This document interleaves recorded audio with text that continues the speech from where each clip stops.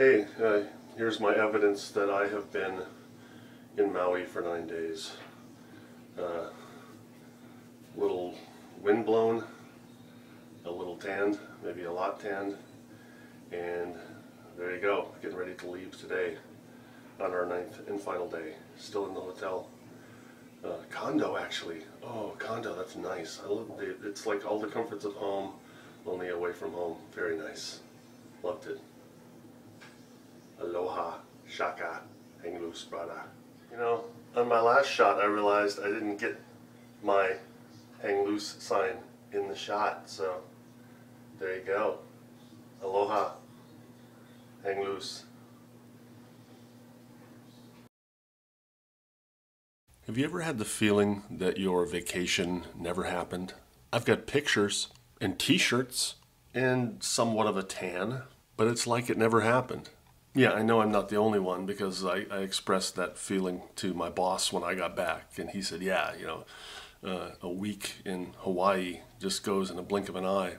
Now, look, I'm not looking for sympathy. I spent nine days in Maui. At least that's what the pictures and the T-shirts tell me. You know, my my grandparents, my mom's parents,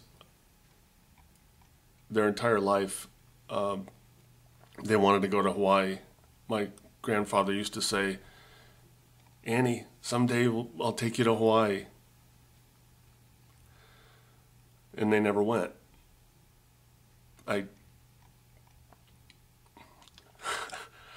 I can't help I can't help but getting choked up every time I think about that. So every time I've gone to Hawaii, I, I thought about them. Yeah, I said every time. I've gone multiple times from 1978 until last week. I've gone. Uh, last week was my first time in Maui, but I've, I've, been. I don't even know how many times I've been to uh, to Oahu, and went to Kauai once.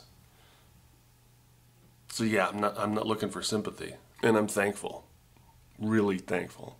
It's just weird to me. It's just weird that feeling that I mean, that it's like it never happened. Time is just a weird thing. I mean, it's bad enough that when you're on vacation, time just goes really fast. But then to get back home and feel like you were never even there, that's that's just wrong. Yeah, and the the weird thing about time too is that if you extrapolate that feeling, yeah, I said extrapolate. You know, then you can get the feeling that your life never happened. It, it, it is a weird feeling. I mean, obviously it did happen. I've, I know, I'm I'm 52 years old. I'm, I've been around here for a while. I have memories of my life, but that's all I've got. Oh, plus the pictures and T-shirts. I don't know. I, I really have no conclusion here, and nothing to add. I just wanted to uh, wanted to express that feeling, just how weird it is that you know, sitting here at the present moment, looking back at the nine days I spent in Maui like it never happened, and looking back at my entire life like it never happened. It's just weird.